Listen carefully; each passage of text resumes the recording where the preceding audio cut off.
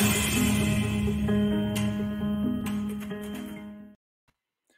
hey, everybody, this is Robert, and welcome to today's program. And on today's show, joining me from England is the author of this book, Gone to Pot Cannabis What Every Parent Needs to Know. Uh, please welcome to the show, Terry Hammond. Hey, Terry, and welcome to the program. Thank you very much for uh, for having me. Yeah, I really appreciate this, and I really uh, I, I mean, I have I have the book right here, so I did read it. so, and uh, yeah, it was a very very um, informative book, uh, and um, very I don't know intense. At you know yeah. when you were describing your uh, family situation, um, and there's probably a lot of people out there that may be going through the same thing, and they may not even be aware of cannabis uh, induced psychosis, right? It's, it's not like yeah, an everyday thing. Right. And until a recent thing happened in my circle, I had no idea what it was. Um, so I appreciate you taking the time to talk about this very important and personal issue and uh, these consequences, very serious consequences it has on young people developing yeah. cannabis or marijuana induced psychosis. Yeah. But um, Terry, before we go ahead and start um, into the bulk of the interview, uh, can you give the audience a little bit of background on your, you know, both personal and professional? Yeah. Okay. Um, yeah. I mean, my background, um, I kind of started fairly humbly. I left school at 15, um, lived in a fairly poor part of London uh, during the 50s. So it was uh, an area that had been pretty well bombed during the during the uh, during the war. So um, so left school at 15 because I needed to earn some money. Uh, my mum was a, a, one parent family and she had two other, th- uh, three kids to bring up. Um, so it started off fairly humbly, but I soon got a passion when I was started in my 20s. I began to realize I, I, I had a passion for working with people and, and injustice. Uh, and I got a job working in the homeless field um, in my 20s and just sort of worked my way up. Um, and eventually I got a job uh, working uh, for a homeless charity, working for people with mental health issues. And I really got the bug then. I, and it always it seemed to me then, uh, in in that early days of my career, that the tw- that uh, people with mental health people there's a great injustice because it was a condition that many most people can uh, can uh, um, recover from, um, but but you need a lot of support. But anyway, so I carried on that thing, and I eventually worked up the uh, the greasy pole, and I went and got myself a few qualifications, uh, and I eventually I then became um, I worked for a, a, a, large well eventually ended up working for one of the largest mental health charities um, called Rethink in Europe, uh, and I was a regional regional director there, and my job basically was uh, development innovation and working with hospitals in rehabilitation. So I, I primarily my background, my profession was very much about I specialized in developing schemes to help people um, integrate back into the community, uh, housing schemes, day centers, um, um, advocacy projects, one to one peer projects, all that kind of thing. And I did that for for for 20 years. Um, and uh, I won a couple of awards, which I was really proud to uh, to have received. Um, so, my, so in a nutshell, then my background. I'm now retired. I took early retirement, uh, primarily really to to write. Um, I, have written plays. That's what I've, that's what I've actually focused on in the last uh, few years of my retirement. But um, but I've always had this passion with regards to mental health and particularly my uh, my own personal experience with my son. Uh, uh, no doubt if you want to talk about that later, but um, yeah, the experience of my son and I, that's what drove me to write the book in my right. Right. right. So uh, cannabis or marijuana induced psychosis uh, hit your family a number of years, number of years ago, quite a bit, right? 30. That's right or yeah, uh, something like that. And uh, obviously 20 prompting years, 20 years ago. I'm sorry. 20 odd years ago. It was, okay, uh, 20, yeah. And uh, this, of course, prompted the writing of the book, uh, Gone to Pot. Um, Terry, are, are you willing to share your story with the viewing and the listening audience. Very much so. Yeah, very much okay. so. You got the floor, sir. Okay. Um, and you can tell me when I when you've had enough. Uh, it's a long story, but now I'll, I'll, try and be as succinct as I can. I mean, basically, it all started when my son uh, Steve was um, he was 19, 20, uh, and he was you know at the pinnacle, ready to flourish, ready to to, to rule the world as they do a 19 year old. And one day, I was sitting in front of the television, and I heard, uh, and he suddenly looked up at me and said uh, why did you ring the BBC up, the, um, the television up? And I said, sorry, Steve, I don't know what you're talking about. He said, you know, he said, because the television has been talking to me all day and the radio has been broadcasting my name. And I just felt sick and and the, it was as if the whole world had dropped out because I then realized I had a very sick boy. And unbeknown to me, because um, I I didn't know much about cannabis. Uh, uh, this was back in the eight, 90s. Um, was late late 90s actually. It was 2000 that he developed it. But during my career, I'd, I'd come across it, cannabis, but it was it was something that was really very much from the sort of my working class background. It was really only students and people like that and posh kids took cannabis. So I never really, it never came across my path as a as a young person, as a young man. And so I was really knocked back when I when Steve had, uh, I, I, discovered later that he'd been binging on cannabis. And from there on, um, we went into a period what I call the black hole. Um, even though I'd, I'd worked in mental health and I'd worked with a lot of people with, with schizophrenia, and I'd also worked with people who had told me they'd taken cannabis, I was just completely um, not for six. I didn't know, I really didn't know what to do how to deal with it. It was, it was, it was, a, it was a, a, a, a it was though I'd been dropped in the middle of a Brazilian jungle, and I didn't know, I didn't have a compass, I didn't know how to get out of this. And uh, Steve really became very ill, became very psychotic, um, and he then eventually, after a period of time, we got him into hospital. Um, and we thought, great, he went into hospital. And they said he was diag- they diagnosed him with paranoid schizophrenia. And then we then learned, because he told the psychiatrist that he'd been taking cannabis.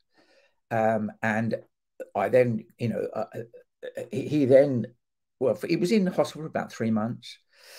And then he then um, he was he was discharged, and we thought then, great, you know, he's he's been discharged, he's back, um, we've we've got him back, and uh, and we thought well, that's it, we're on the road to recovery. But little did I realise it was the it, it was life had only just begun for us with regards living with somebody with schizophrenia, and uh, and and although they had um, it, they had dealt with his psychosis, in as far as with medication, they'd subdued his psychosis. It hadn't gone.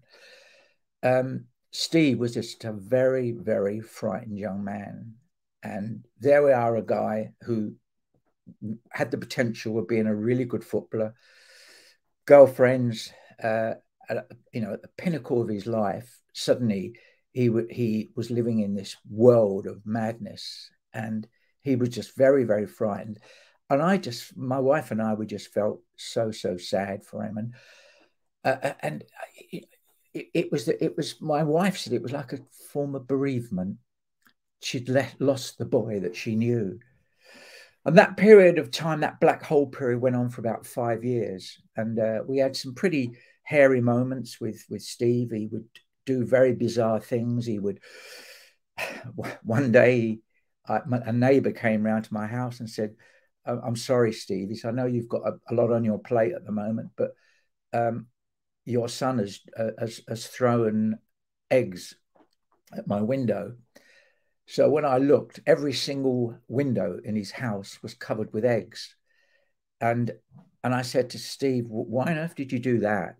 He said, because they were peering at me and I had to stop them looking at me and uh, so that was just a small small instance but we had things of him he'd be wandering he'd be wandering uh, th- through the high street where we lived, or we lived in a sort of just outside Southampton, south of south of England, and he would be um, mumbling and talking to himself, and and he told me one day that a, a white a, a, van pulled up and shouted out, you know, get off the streets, you nutter, you know, uh, which didn't do a lot for for his his self esteem, and then that that period went on and uh, again as i say for about five years. And then we started to get uh, small breaks in as far as one of the psychiatrists he had and that's one of the keys was we had a fantastic psychiatrist and he suggested that we got um, that we that he had some cognitive therapy because he he believed it was aliens that had, that were in his head because he said to me uh, I said to him, well, you know, where do you think your voices come from? And he said, well, aliens. He said, where else do you think they come from, Dad? Dad, there's, there's nowhere else they could come from.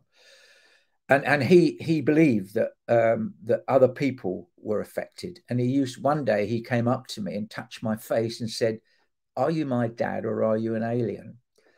Um, and he he did that one one one night, and he didn't believe me that I that I was, and he threw me out. He just pushed me because he was a big lad. He's a lot bigger than I am. He's six foot. He pushed me out the room and then started smashing his room up, and I was just so frightened.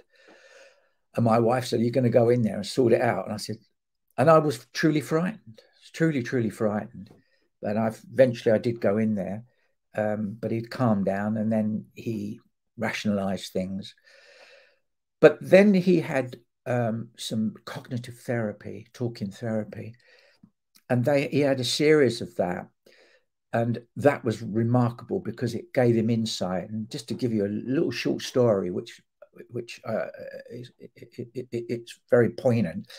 The psychiatrist said to him because the psych- psychiatrist in, included us. Whenever whenever we had he spoke to steve he said to steve would you mind if your dad got involved? And that was so crucial. Sometimes steve said no but quite often he said yes. And this particular occasion he said to um, the, the psychiatrist said to steve so have you got voices still? And he said yeah of course i have he said where do you think they come from then steve aliens and then he asked the crucial question how certain are you of that steve and Steve pondered for a moment and said, uh, 90% certain. Right, okay. And then he asked the genius question. So what's the 10% then, Steve? And Steve, I always remember this. He looked at the psychiatrist and said, well, it's a bit mad, really, isn't it? But he said, no, I still think it's aliens. Then he had this series of um, cognitive therapy. I won't go into it because we had some fun because he initially refused to go there. But then the psychiatrist had a great great idea of getting a a, a therapist who was who was uh, uh, uh, young and good looking, and so that made him go. That made him attend the sessions, and he had about nine nine or ten sessions, and then he came back, and then he, the psychiatrist asked him the same question again, um, and we were there, and he said, "Steve," he said, "he said uh, you still got your your voices?" "Oh yeah, yeah, yeah, yeah. Of course I have." Where do you think they come from? And I always remember this. He said, Well, he said, I, um, they're from my head. So I went, Well, yes, great. And he said to him, the psychiatrist said, Well, how certain are you of that, Steve? He said, 88% certain. 88%. So the psychiatrist said to him, Well, what's the what's the 12% then, Steve? He said, Well, it's all the things my voices say. I, I don't think I could be that clever. And I thought that, that made me realize the kind of his self esteem, because obviously, you know, his, his voices are uh, clever. He can be clever at times. But after that time, he started to improve. Um, he then went to, he started going to a day center. Um, and we had a young lad, about 25 year old, well, I uh, when he came, knocked on the door, the social worker, I think he, looked like, about eleven year old, as you do when you get older, didn't you? And this social worker, and he had, he had a a baseball cap turned around the other way, uh, and he had a skateboard. And I thought, my goodness, who, who's this coming to the door? And he said, "Oh, I'm Steve's new support worker." So I thought, you know, prejudiced older man looking at a younger bloke, total prejudice. Think, oh my god, what we got here? But this lad was a G. He was another, well, not a G. He was brilliant because he said, "Steve, we're going out," because he knew that Steve was good on the skateboard when he was younger. Took that took Steve out, and that was the lad who got this 25 year old social worker got Steve out. And so, really, it, things over the last it, we progressed. Um, he eventually got into um, a, a, a, horticultural project, um, and um, he's still got his voices. He still gets them now, but he knows where they come from. He knows they're in his head. But he said to me, "Dad, I just wish they weren't there." And um, and you know, it's just it's still he's still a he's still a, a use the word disabled lad. Okay. That's a lot, Terry. That's a lot. Sorry. No, no, no, no, not the time. The the story itself, and uh, and and you probably just gave us a very small snippet. Yeah, yeah. Just, of everything you've gone through, and uh, but let, let me ask you about the the the. I guess you call it cannabis in, in England. We call it marijuana here. Yeah, I'll try and uh, remember marijuana. Yeah, it's no, it's it's okay. Um, but as far as the cannabis use, you were unaware of it and and do you know if his use was very heavy? He was binging on it. Um, yeah. he, I think what he was doing, he was telling me he was going out on a Friday, Saturday, and Sunday, and he said he was ended up smoke uh, using cannabis like cigarettes. So he he would have maybe maybe ten joints uh, in an evening, uh, and um, and and and we now know, which you know, I can talk about that later. We now know that um, and he was doing it every weekend. Mm. So, um, but it, well, he said he started smoking when he went to college when he was 18, but only like, you know, as they do, experimenting with it. And he liked it. Obviously, it gave him a bit of euphoria, made him feel good because that's why people take it. Mm-hmm. And um, he, yeah, and then he started smoking on a regular basis. So that was the that was that was probably the un, undoing of Steve. He he took it on a regular basis, and and he was smoking skunk, which was the heavier, so the stronger, at higher levels of uh, the THC. Yeah, and to piggyback on that, that was, that was actually my next question about the active ingredient in marijuana or cannabis, uh, THC, which is key um, to this um, yeah. mental health issue. Um, Terry, it's not in, present in the same levels as it was when I was a kid in the 70s, right? I mean, it's much yeah. different not today. And, and, and, I just want to point out to the audience, uh, Terry's book details this information very, very well. It's very well researched. Yeah. But, uh, go ahead, Terry. Yeah. Yeah, I mean, if you if you went to Afghanistan and you and you picked it up there and, and, and grew it in its natural state, then it would be the same um, uh, than, than than you were when in, in the seventies and eighties. Um, but what uh, uh, and, and the normal content of THC, the tetrahydrocannabinoid, uh, you know, which is the that's the substance that gives you the, the euphoria, um, is usually about three percent uh, in a natural in its natural state. But it's been genetically modified. That's the problem, uh, really, by gangsters, by criminals.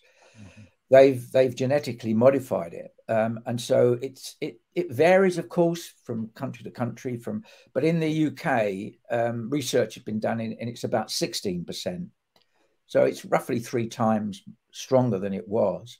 However what you can do uh, uh, uh, and when i was researching this book i, I, I was speaking to a scientist uh, professor robin murray fantastic man and he said that you can go to uh, to Holland and parts of London where they genetically modified it.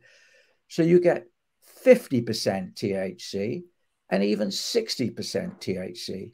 And that really, you know, can really blow your mind taking that. And this Professor Murray said to me that a young, because the issue really, and again, we can come on to this later on, the issue really about cannabis is taking it when you're a teenager, when your brain, brain is growing and that's that's and if you if you're taking it on a regular basis and if you take high levels of, of cannabis well, marijuana with with with high levels of thc then that's the issue. That's that's uh, that can cause you the problem. Um, and so well, anyway so that that that's the that that that's it. So i think the, the issue now is that um, well as professor murray said to me that a young 18 year old could go to Amsterdam, he could go on a Friday night, he could smoke a few of these 50% THCs, and the risk of him developing mental health goes up exponentially. Mm. And he could come back on a Monday with his mates uh, with the starting of mental health. It, it's as bad as that. Uh, it can what it does it can it damages the neurotransmitters in the brain this powerful stuff it's a toxin mm-hmm. and you're putting stuff in your in your brain that's not meant to be there you've got we, have got thc we've got we've got tetra, we, have got the um uh, uh, the, the the dopamine. I won't go into too much detail, but there's do- the, the one the tr- neurotransmitter. Um, we've got a natural ability to have euphoria because that's what makes us laugh. That's what's us fun, and we've got that natural ability in our brains. And what if you mass produce this artificially? Then you're interfering with the way the brain works and and can cause long term damage.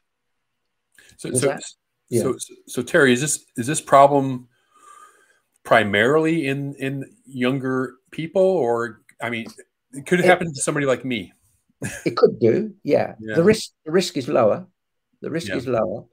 Um, the risk, the, the, what the science now is clear, you know, and I re- really researched it because I really wanted to get a balanced view on this because I didn't want to demonize cannabis. I didn't want to demonize the users. But um, the risk now, most scientists agree that it's uh, if you, the younger you are, the earlier you start, and the level of THC increases the risk. Mm-hmm. Um, and um, in the in the UK now, they've did some the latest research is showing that uh, increasing numbers of young people are developing psychosis as a lack of it. If you and I took it, the risk would be lower. But if you and I took the high levels of stuff, but but then it all comes down to um, predisposition and your genetic background. Sure. You know, so there's and, and, and also you know whether you live in poverty, whether you know uh, lifestyle and all that kind of stuff. So it's a complex issue, and that's why you can never say it. It's definitely causes it. Right. What you say is it's a it, it increases the risk of it. Yeah.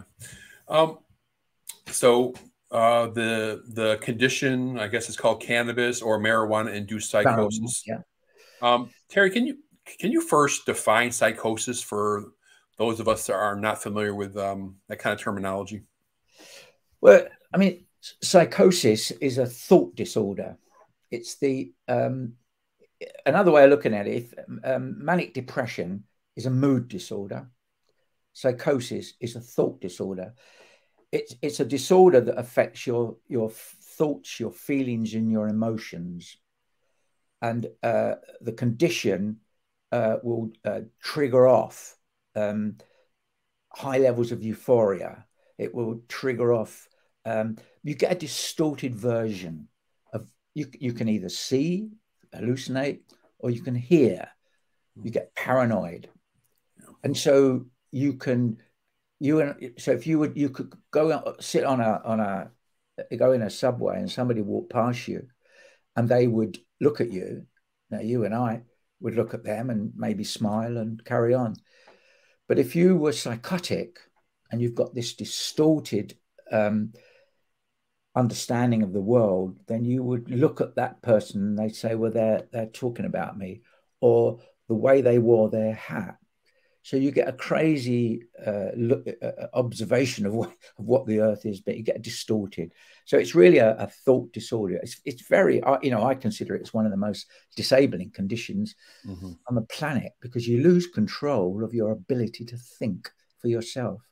You lose the, the ability uh, to uh, to control your thoughts and your feelings. So it's um it, it it's a, it's a pretty disabilitating condition. There's no question about that. The um so so what do you normally see in a psychosis like uh like this? Is, is it you mentioned paranoia several times? Um, yeah. Um, okay. Um, you, you, become like excessively conspiratorial. Um, uh, it, it, people are out to get you. I mean, how, yeah. how's that, how does that all work? Yeah, I mean, bearing in mind if if we if we have some some understanding of the way the brain works and we and the brain has got 86 billion cells, and they're all interconnected uh, through these um, neurotransmitters. And what cannabis does, it interreacts with the dopamine, and dopamine is a, the, the neurotransmitter is associated with the reward part of the brain and with your emotions and your feelings. And so the so some so the symptoms of, uh, of if you like of too much dopamine and that's what it does you put if you have thc too high levels of thc it will increase the level artificially increase the level. So you're getting a, a, a zap of, uh, of of euphoria. Um, so the symptoms i mean it can vary. I mean you can have some good feelings. You can feel happy. You can see things, uh, you can look at a flower and, and think how that's the beautifulest thing on this earth. So it's not all bad. I mean, you know, I mean that most people take um, take cannabis to make themselves feel good, and it it, it can make people feel good. But the psychosis, when it gets into the psychosis level, it can develop into um, hearing voices. It can develop into hallucinations. It can uh, you can uh, develop um, depression um, and um, I mean, generally, you kind of you're, you're you're getting a distorted version of it, and and the symptoms of that is you is you would notice somebody where they they become much more recluse.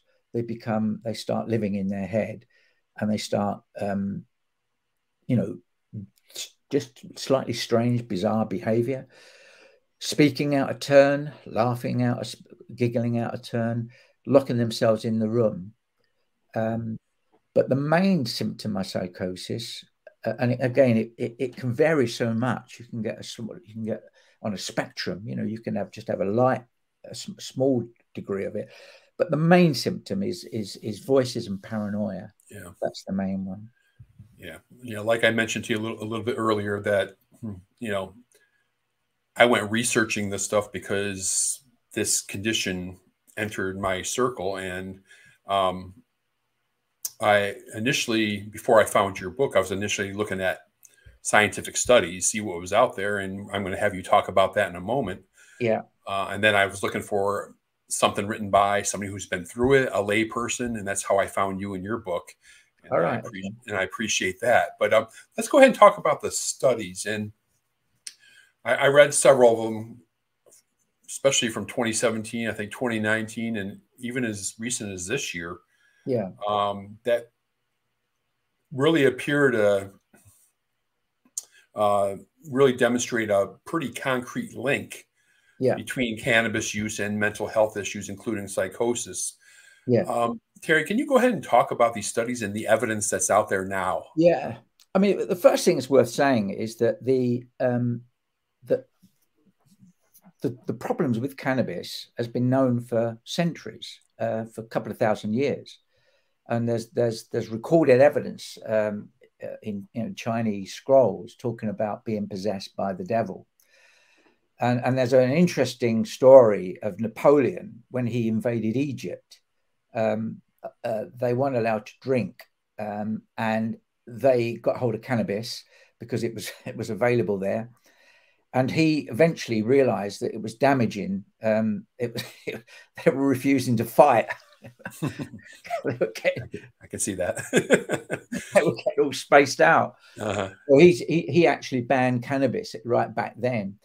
But the, the, the studies, the, the more, I mean, the, the, there's been a number of major studies. I mean, there's been hundreds of studies on it. But the most important one, and I think that your um, listeners need to know about, is the ones that was in the US that that uh, came out, uh, the National Academy of Medicine, um, that produced um, one of the biggest pieces of work. Um, and um, I think they looked at 10,000 different pieces of work around, uh, you know, uh, extracts. And their conclusion was, and you can look it up on, on it, it's two, 2017 uh, was, was, was it published. Um, and what they uh, what it showed there was that there was a they made a definite link between um, psychosis and marijuana Um, but but it goes back to what we were saying earlier. The stronger the marijuana, and the more and the younger you take it, the risk goes up. And that that study uh, was a huge study. It's one of the biggest studies ever taken place, mm-hmm. and that really kind of blew away all those doubters because it was a it was a major study. And then another study came out in 2019, a European study, mm-hmm. which uh, which was uh, which Professor Robin Murray um, was involved in. He's he's one of the leading lights in the UK and when in Europe, in fact. And that uh, produced um, absolute. Uh, uh it was called uh, uh, the European Research published, um, and what what it was what it did was to confirm the studies in America, and what they showed there was the link. So these recent studies are saying that the the link it, it, it is irrefutable now that the link is there. Yeah. Okay. The only way you'd prove it is to get a thousand young teenagers, make them smoke it for five years, and then you'd know whether or not it proved. Same with smoking. You know, the only way we you, you they proved smoking linked it with cancer was continuing studies and linking it linking it with different things. So these two pieces of research, the US piece of research and the European piece of research, are pretty powerful uh, pieces of research. And they certainly have convinced the World Health Organization. Um, and they have, um, you know, if you look on the World Health, Health, Organization, they also refer to other studies. So um, the studies are there, and and it, it is in its in its, and I think for me, what it's all about it's about giving people an informed choice. So that in the same as smoking, when I was, uh, you know, when I was a young man in my in the sixties, um, smoking was be just becoming associated with cancer and heart disease, and so on that basis alone, bearing in mind that something like in the fifties, seventy four percent of men smoked um, and today it's 15%. And that's all about informed choice.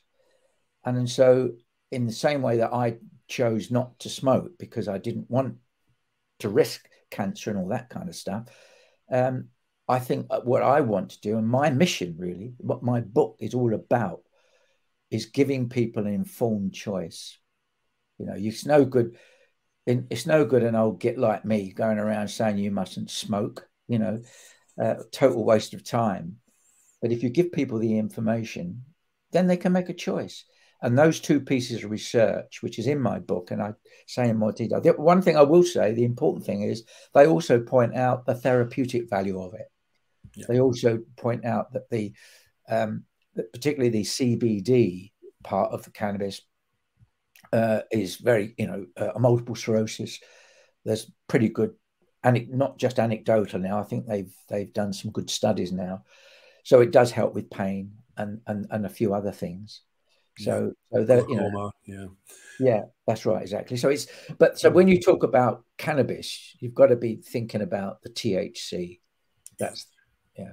So, so, so Terry, then it's, it's probably is it fair to me to say because in, in 2022 at least here in the united states you know the uh, legalization, decriminalization of recreational and medicinal uh, yeah. marijuana is growing in popularity astronomically. Um, but listening to you, is it fair to say that you're not for prohibition? In a, in a nutshell, no, I'm not for um, yeah. uh, prohibition. Um, well, the way I look at it is that the, the, the we, we now know that cannabis can cause problems, particularly for young people. And if we were to legalize it, just straight legalize it, which some countries have done, mm-hmm. then you you risk giving a message to young people that it's okay. I agree. We're giving them the green light, and um, and that and they are the very pe- people who are most at risk. So my my line on it is that I mean I used to be very pro legalizing drugs, but I'm not any longer yeah. because it's not a simple question anymore. It's not a question of should it or shouldn't. What I'm, I'm looking and I've done the studies in the other countries, and it's not straightforward. The the results aren't straightforward. What they've shown, where the, the countries that are legal are, is that young people now believe that it's safer to use. Yeah. Okay.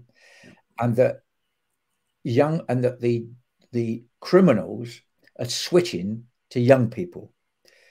So um, so it's all again about this informed choice. It's about this informed choice. And for me, the way forward, and I've done a paper, and I'm at, I've actually written to out the out the UK government. have got an all-party parliamentary group looking at um, drug reform, and I've written to the chairman of that. And and and the line I've taken is that before you even start, to, uh, you've you've got to get have a major education program so that people have an informed choice. And you've also got to accept that if you do legalize it, then you're going to have there's there's going to be people who are going to develop the condition of psychosis, and that there's a, a and so therefore those people have got to be rescued and they've got to be treated and they've got to be dealt with. They can't be treated as collateral damage uh, because the evidence. I don't sort of jump any of your questions, but in in in the UK, um, the latest re research would suggest that thirty percent of all new cases of psychosis are linked to marijuana. Uh, this is that European study. Yeah, yeah. Um, and Professor Robin Murray, who's, who's, I say, one of the leading scientists on this, uh, and I spoke to him about this. He said that they estimate about 10,000 people are developing uh, marijuana induced psychosis every year. Every year. So, as a society, and, and that's why I mention in my book it as a public health issue. Right. We, we have to, you know, we have to accept um, that it is an issue in the same way we we recognize that smoking smoking was a public health issue um, and we did something about it and we've been reasonably successful in reducing the numbers you know and that's where we're at with with with cannabis reform and i and I, I, I mean, in a, in a way, this I think you've got about eighteen or twenty states in the UK that have, uh, have legalized it or have um, regulated in the US. In the US, yeah. yeah. Mm-hmm. Um, in a way, got to see them as huge experiments to see how they come out. But um, I've been yeah. looking at some of the feedback, and it's not all roses. It's yeah. not, you know. Yeah, so. I, I think me and you were pretty much on the same page. I mean, I don't want to see people go to jail for it. Absolutely not. However, after what I witnessed, uh, you know, in my circles, I, I, I can't, I can't see our youth going through that. It's just, it's horrible. Yeah. And um, yeah, yeah, yeah, exactly. So uh, yeah, so uh, yeah, maybe education is the key to this all. Um, yeah, this whole problem. Yeah, I think education, um, but also um, if it is if it is legalized, it has to be very carefully regulated. Um, and then also there's the, the then the criminalization of it has got to be the crooks who genetically modify it and are throwing and, and putting poison out on the streets that young mm-hmm. kids you know so that has to be dealt with it's going to take a long time I, I i'm an optimist and i believe we will get there i believe in the same way optimists in the 50s thought we'd we'd reduce the amount of people smoking tobacco um, in the Western world anyway. Uh, I, I, think we will reduce the level, and if we can, if we can start educating people, uh, parents at the very beginning. That's why I called my book "What Every Parent Needs to Know." If we can get um, parents to um, understand this, and then over the next 10, 20 years, generation of those of, pet of the new generation of parents are getting across to their kids don't touch this stuff, or you know, doing it. They're, they're, in my book, there there are ways you do it. You don't just tell kids. About, but I, I'm optimistic that we will we will reduce the use of drugs in the next 20 years, but it's got to be a concerted effort by by governments uh, and by the public. You are optimistic, Terry. Um, you are. I, I think one of the issues. I mean, I guess this goes together with education is just awareness because I could go out on the street of Tampa, Florida, where I am, and ask people, "Do you know what cannabis-induced psychosis is?" And nobody's going to know the answer to that, right? Yeah. Because I, know, I mean, I'm reasonably educated in that world of healthcare and all that, and I never heard about it till like two months ago. Yeah. Right. Really? Well, that that that yeah, that's kind of scary, really, isn't it? Right. That somebody as well educated as you. Yeah. But I but I I I know that. I mean, I when I uh, I, I since I've written the book, I've had some. I've had quite a few letters from people, and and and one woman who was a teacher run back uh, uh, uh wrote back to me and said exactly what you just said. Should I just did not know. I just did not know. But and sadly, she she got to know when her son started developing it like mine, and it's too well. I say now it's too late, but that's I might be being optimistic twenty years, maybe thirty years, but maybe forty years. Yeah, well, we will I get mean, there. There's no doubt about it. We will get there. I think yeah, we will. Yeah. Um, Terry, let, let, me ask you about the treatment for the psychosis. You know, yeah. um, are, are, these um, and just antipsychotic drugs, and um, how successful is it? Is it for a short period? Is it lifelong? Is it depend on the individual? How does that work? Yeah. Okay. Well, again, mental health is is down to predisposition um, and genetics. Um, so to the, the degree that you get it will vary. But if, if you develop psychosis, um, most people who develop psychosis will recover in early intervention, i.e., uh, if if it's just a, a one-off psychosis. Um, or, a, however, if you if you develop a um, schizophrenia, if you get a diagnosis, which is a uh, which psychosis is a part of that particular condition, it's the main part of the condition uh, if you develop schizophrenia, if you get a diagnosis of, uh, of, of, psychosis, long term psychosis, then what will happen is you uh, medication. Uh, I don't like the idea of it, but it, it's proven to be the most uh, effective um, antipsychotics.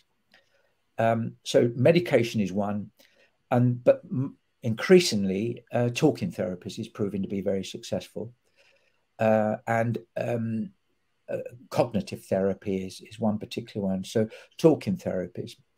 But then, of course, there's other issues about uh, social intervention and getting people uh, engaged in the community, uh, getting them getting them into the day centres. Engaging with the families is crucial, absolutely crucial. The family, I believe, the family can be the difference between recovery and relapse.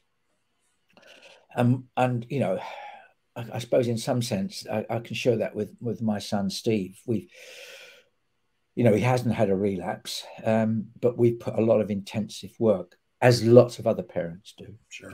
So really, um, the statistic on schizophrenia, which is um, uh, which is quite which my son was diagnosed with, is that around about um, 20 25 percent um, have, have a prolonged condition to the point that they are either in hospital or very incapacitated by it. Then about 30 to 40% of people will develop, will who have psychosis, schizophrenia, uh, will live with it. Like my son. There's no, there's no, there isn't a cure. He's not been cured of it, but he's learning to live with it and he's adapting to it. And he's because it's a cognitive issue as well. It affects the cognition, and he's he's teaching himself like talking therapy helps to do that. And then around about twenty percent. I mean, it varies enormously from country to country and mm-hmm. even city to city. So these are very generalized word, but about 20% of people who develop psychosis will completely recover um, and um, and have no, providing they don't have another bash with it. Mm-hmm. So we're talking about um, sort of long term. So I mean, you can have psychosis with if you with depression. I mean, I've known uh, people, uh, you know, people who are pregnant have had psychosis. So psychosis is is not an it's, it's not a, an uncommon uh, state, uh, but it's when it's prolonged, and that's what we're talking about. Mm-hmm. And it's when it's when uh, the the brain has been damaged by uh, the neurotransmitters, the, the, the neurons have been um, damaged by it. That's where you've got a problem, and that's where the long term treatment goes on. Does that make it? Is that no, no, no. That actually helped quite a bit, and and some of the percentages you threw out there are very encouraging because, yeah, I, I, mean the way I interpret it is, and there's about 25 percent that are really bad off, and yeah. another 75 percent at different levels of doing okay to yeah you know full recovery. So I mean that's that's very encouraging. Yeah. There are there are people who do recover. Yeah, and and I, I haven't come across the research to say why that is, but it's, it's, just the way we as a species are, how we adapt, I guess. And mm. and some people, I mean, my son Steve, we went, we took part in a in a, a television program where they looked at our genes. Uh, it was a, a, a it was well, the program is called Panorama, and it's an investigative program, and they wanted to see whether there was whether your uh, genes made a difference. And so uh, th- this particular scientist had worked out that there, there were they're called COMP genes, C-O-M-P genes, um, and that if you've got a, a, particular variation of those genes, then you then you are more likely or more susceptible uh, to uh, schizophrenia or, or, or, psychosis. And um, um, our genes were in we were in the middle.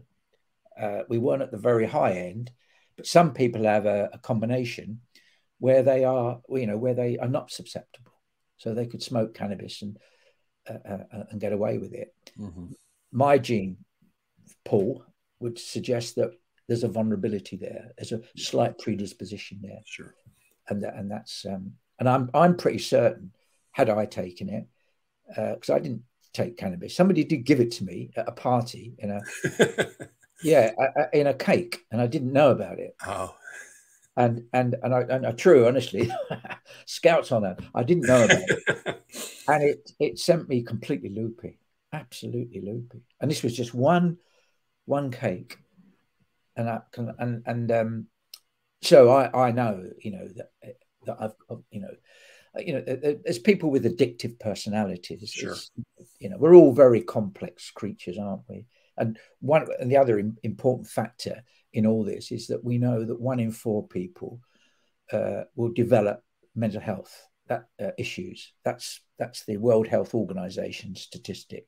That roughly one in four people, and that's fairly consistent throughout the world. There are some variations, but in the Western world, one in four of us will develop a mental health issue, um, which would suggest that as a species, we haven't really um, developed perfect yet um, we're nowhere near where sharks can kind of heal themselves and develop themselves. They're, they're much more developed than we are in our their ability to to to sort their health issues out.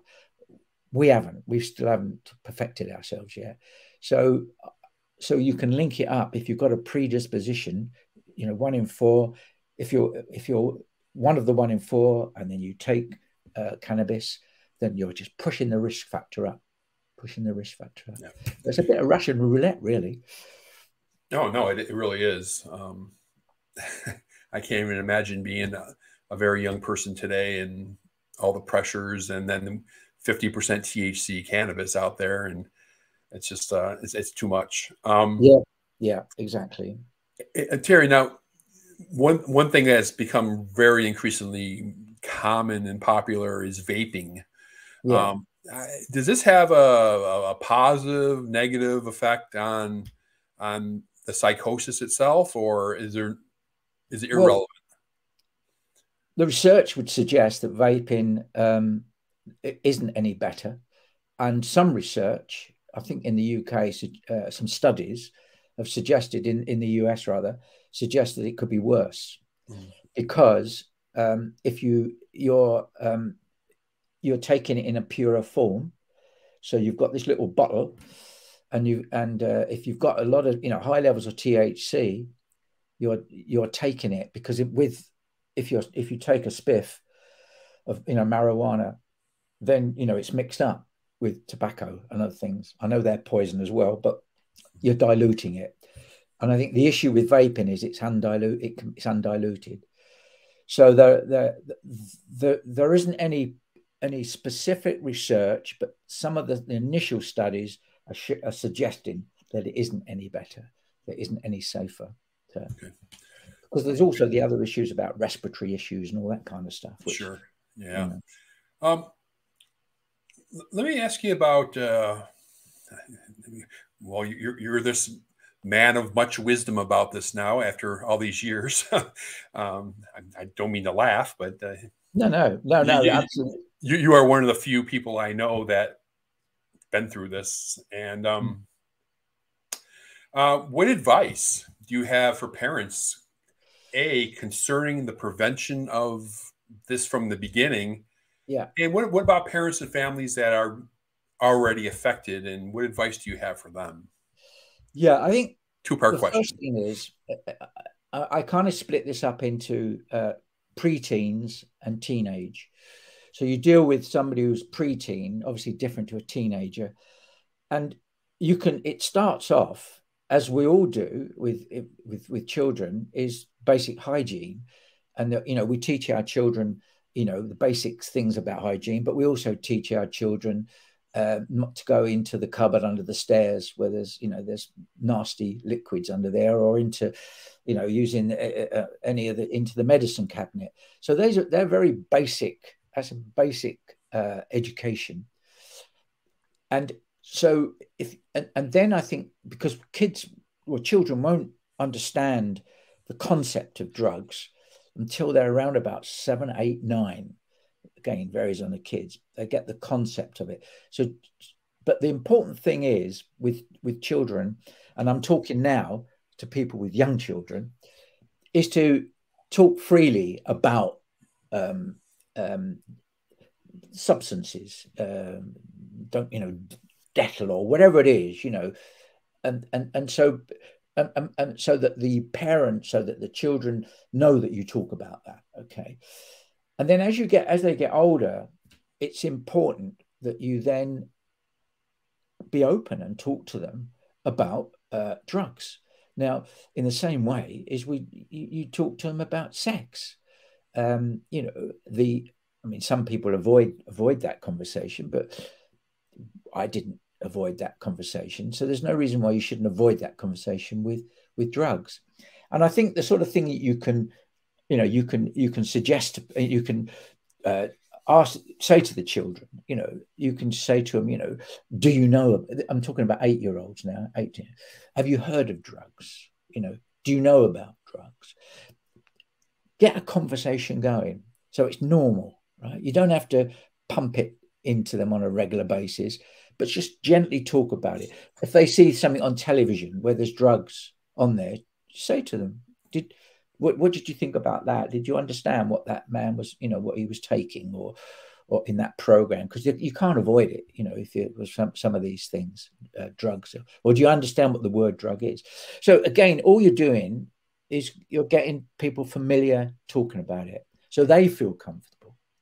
And then once you get into really from 11, 12, 13 onwards, that's where you can um, uh, you, you, can be more explicit about it. However, you've got to be a bit more careful because, as we know, and uh, I've I've got two teenage grandchildren.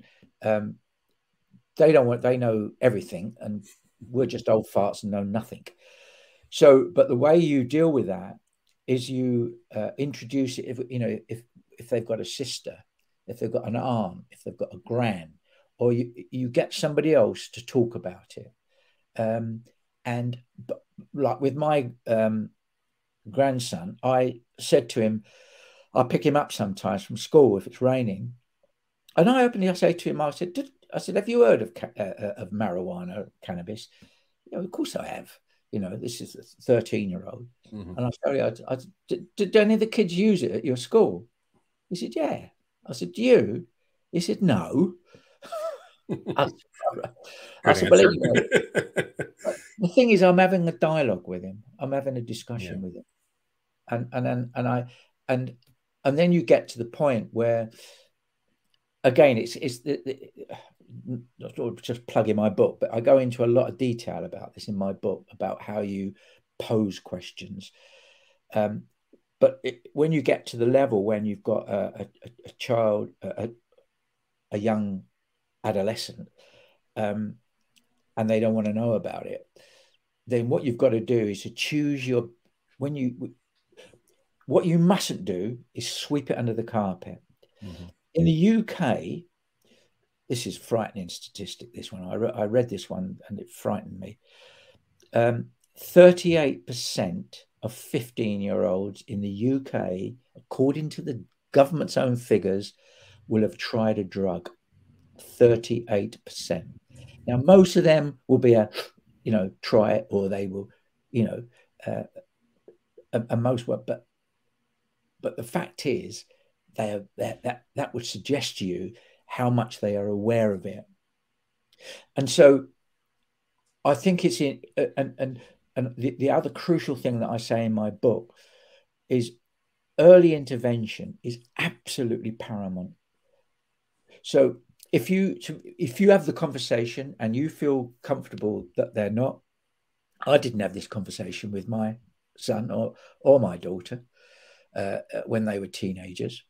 Um, I was more thinking about you know making my son don't get somebody pregnant and my daughter don't get pregnant. you know, that's what I had in my head. Mm-hmm. Um, but but but so the important thing is to get a discussion about it and you need to think about how you do it. Talk to other parents. Have you talked to, you know, say, uh, you know, you could say if you're at the school gate, have you ever talked to your son or daughter about drugs? You know, how did you approach it? And then you get onto the situation where you suspect they might be experimenting. That's where you've really got to act. Very difficult to act, particularly if they're they're sort of 13, 14, 15. Bearing in mind, 38% of 15 year olds would have tried something. So there's a good percent of probably about 10% of those maybe are doing it a bit more regular. So you've got to get in there. Now, the trouble is, um, this is where you need to seek help, where you need to go to the school. If they if they're not listening to you, which is a good chance they won't, then either they might listen to their sister or they might listen to their grandparents, as I previously mentioned, or go to the school, talk to the school, or they might they might have a football coach.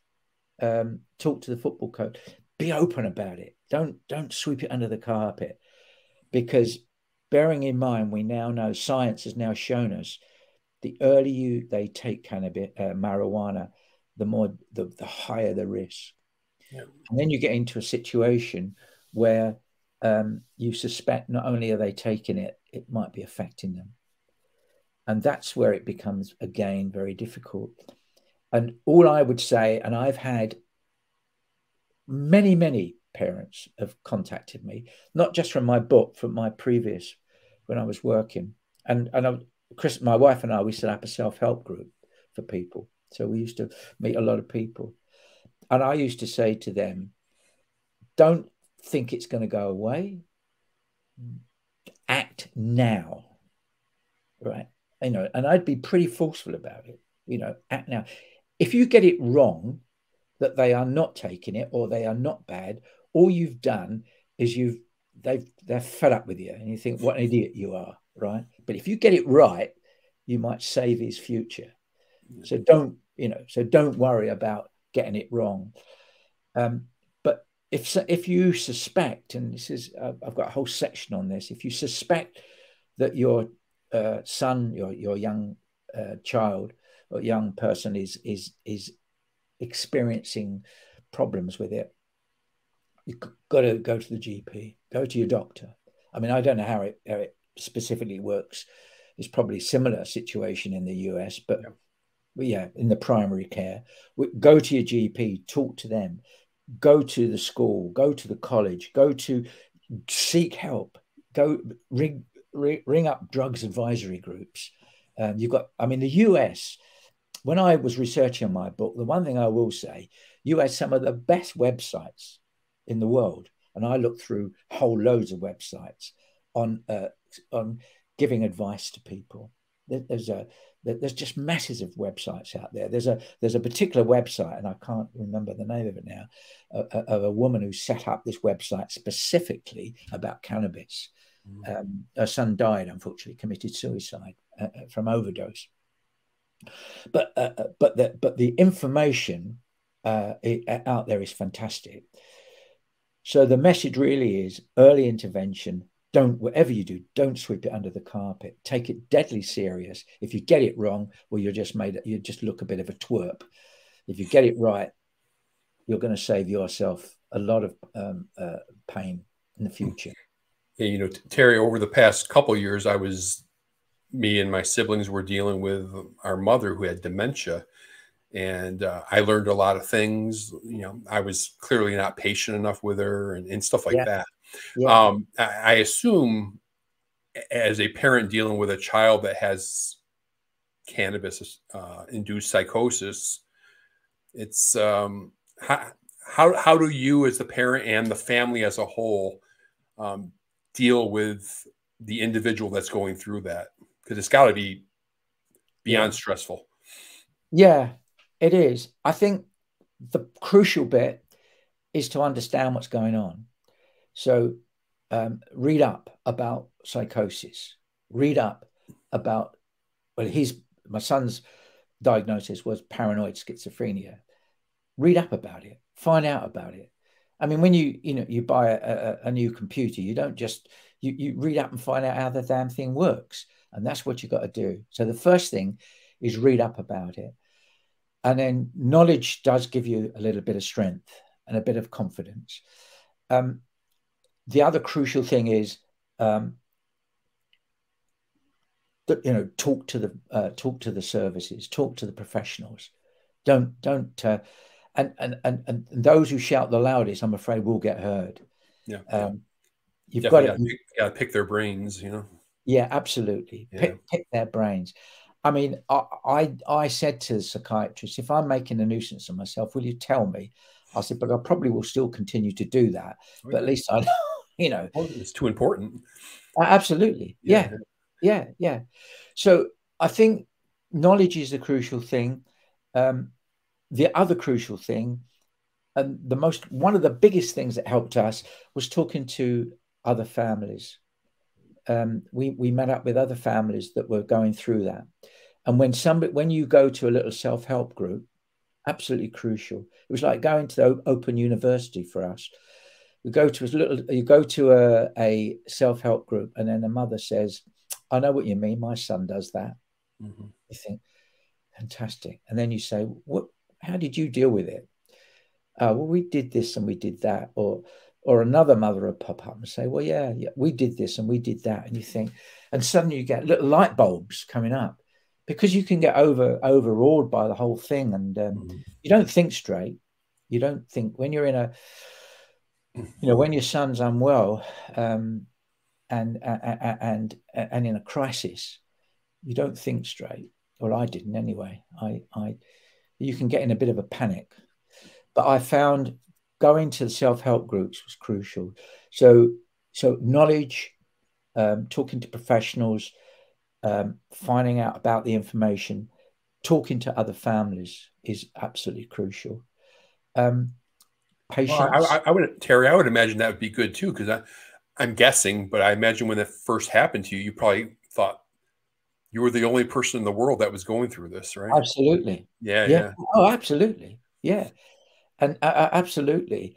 And I can say that when we met, when I met up with families, the self help group, I would say it was probably one of the biggest factors that helped us in our own recovery, in our own well being and and and if we're feeling good about better about ourselves then we can pass it on to steve. Sure.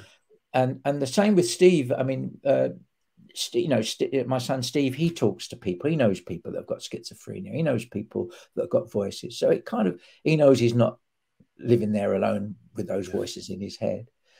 So it, it is tough, but there's life after psychosis.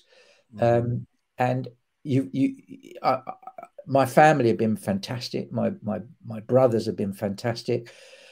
And they, you know, my daughter said, Dad, you need to go on holiday, go on holiday. And I said, well, look, Steve's been playing up. I don't want to leave him with you and all the rest of it. Said, we can sort it.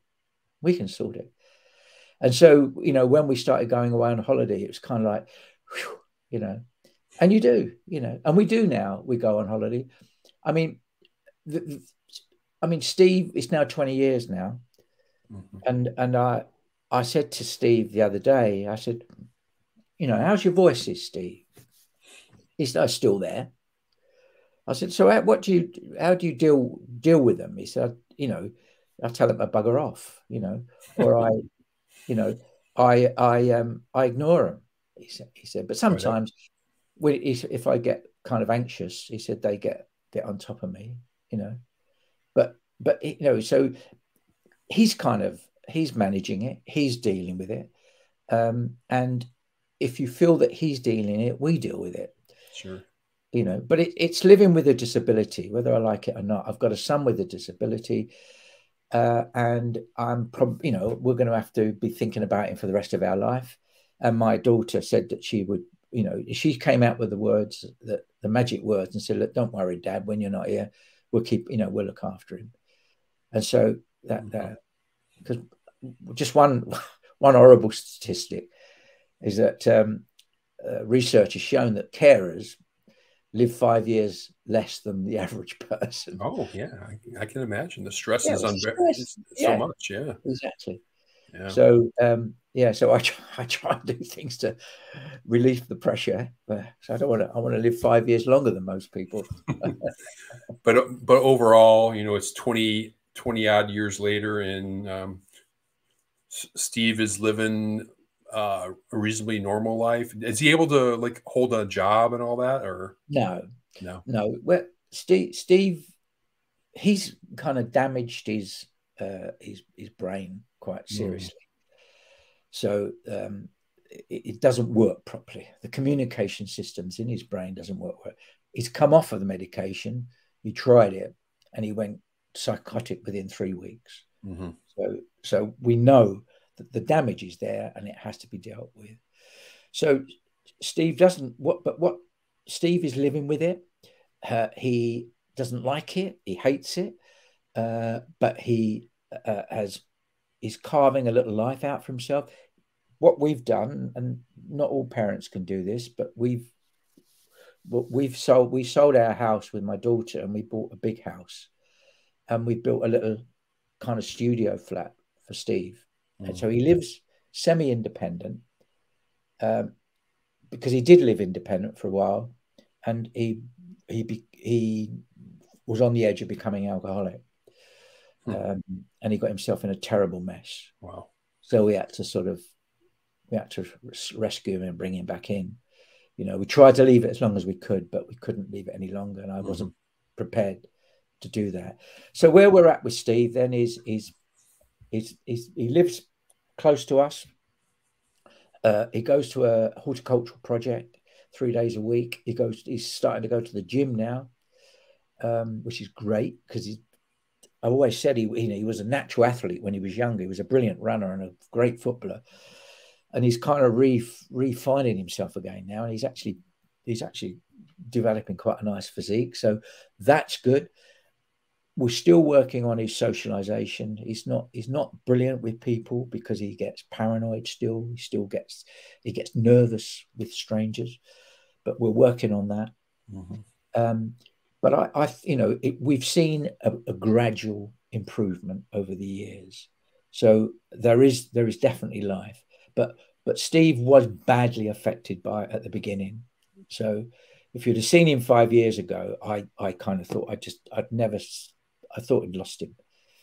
So we've got him. We've got him back, but he's he's not quite the the young.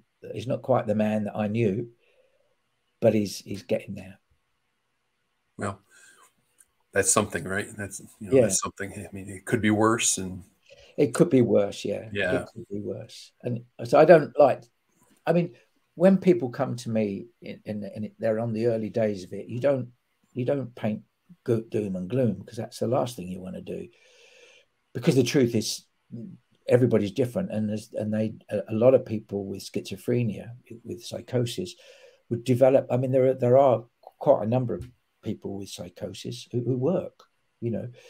So it just so happens with Steve, and and you know he he he, he doesn't work, but but from the message really is that most people will recover and improve to a degree, mm-hmm. you know, and it yeah. will vary on the degree of that. So they will improve, and there, as I said, there's life after it, and our life has improved substantially. You know, yeah, sounds like it. Yeah, yeah. We don't. Yeah. I don't. I don't. I don't worry uh, as much as I did do, uh, and um, I worry that I wish he could meet somebody, a partner. Yeah, I was actually just going to ask you about that, uh, Terry. Is yeah. like uh, how, how how is his relationships with the fairer sex? Yeah, he's not. He's he's. um I mean, no, he, he doesn't. He's, he's told me that he's not ready for it yet. Okay. Uh, he, well, that's good that he, he, he recognizes that. Oh yeah, yeah. I've yeah, I've yeah. spoken to him about it. He said, you know, he said, he said, who's who's going to put up with me when I? Because sometimes he he will talk to himself occasionally, um, and um, and he said, who's going to put up with a loon like me? You know. And I said, well, Steve, there's loads of people. You're you're not a bad looking bloke. Um, I said, you're primarily you're fundamentally a nice man. Um, I said a lot of people, but no, the answer is no, he hasn't. And um, I think maybe one day he will. I mean, he was when he was before he was um before he was unwell. Yeah, he had a he had a long term girlfriend, and yeah. You know he was quite you know quite active. So, but no, I think he he he, I think he's almost become a what's the word? Um, what's that? Not a recluse? No, not a recluse. I think he's just accepted that sex is not a, a, a, is not for him at this time in life, mm-hmm. you know. So, but anyway, so yeah, so he hasn't got a, girlfriend. Um, one day he might. Well, it was Terry. It was really nice to meet you here, uh, long distance, um, yeah. and uh, definitely be uh, praying and thinking about you and your family. And thank you. the the and what you're going through. Um, let me get back to your book real quick. There we go yeah. Gone to Pot, Cannabis, What Every Parent Needs to Know by Terry Hammond. Uh, Terry, I bought this on Amazon. Uh, yeah. Where else can people find your book if they if uh, they're interested in checking it out? Well, it's on Amazon at the moment. I've now got it in an e. It's now Amazon have put it in on ebook as well now, so you can get it um, downloaded as an ebook. Um, but if you go onto my website, uh, www.terryhammond.com org.uk. Um, you can get it through there, uh, through my book, and you can read more about my book on my website. Um, I don't. Do you have Waterstones in your in the US?